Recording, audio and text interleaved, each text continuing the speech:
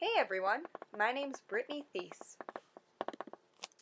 You can find me on Twitter at Bubba Brit Thies or on Instagram at Bubba Brit Thies.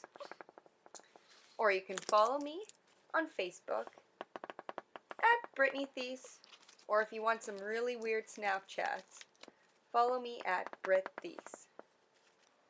I'm going to tell you about some of the things I have learned through the University of Regina and their ECI 831 course. The course was led by our great leaders, Alec and Katia. Follow them on Twitter here. If there's one thing I've learned in this class, is that through connectivism, we can learn anything and almost everything using the powers of the great and magnificent Internet. In this class, we found that we could connect with some super famous people other than Wayne Mantyka. Speaking of getting connected, our class formed our own community using Google+. This was our community forum where we always had each other's backs. We uncomfortably got comfortable with one another by taking brutal lighting selfies with Padlet and getting our Buck Martinez on by tape recording responses on Flipgrid. By the second class, we pulled our lives together through social media management systems and PLEs like TweetDeck, Hootsuite, Feedly, and Symbaloo. What did I do without these tools in my life before this class? We used Zoom to connect in real time and learned about other live streaming technologies such as Meerkat, Periscope, or Bambuser. Whether we liked it or not, we were thrown into the world of blogging. Most of us use WordPress as a way to creatively connect to the world. We were given the ability to have our own thoughts expressed in our own ways.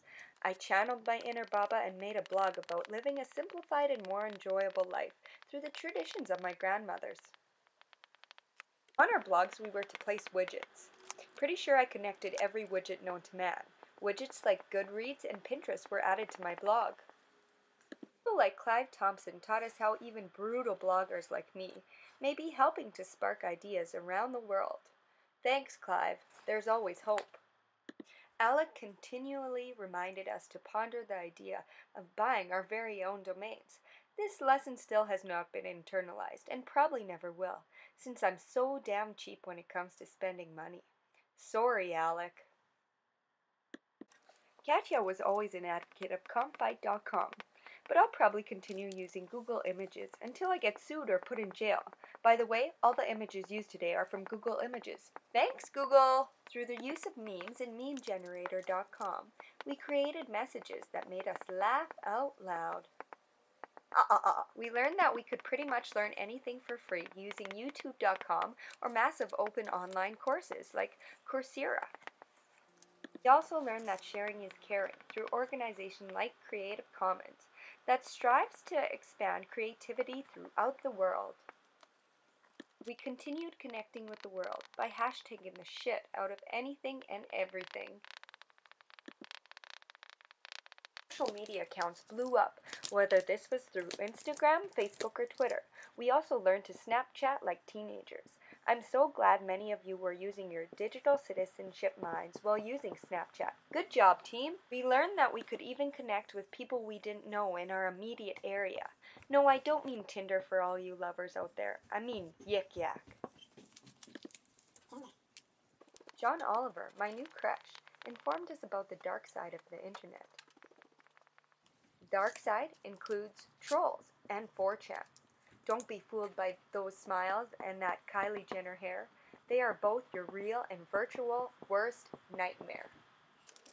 Finally, we were taught that slacktivism is activism. So click away and raise awareness for your cause. Always remember, we are changing the world and connecting with it, one click at a time.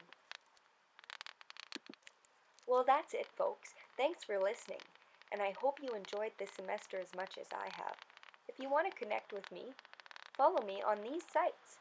Thanks! Bye!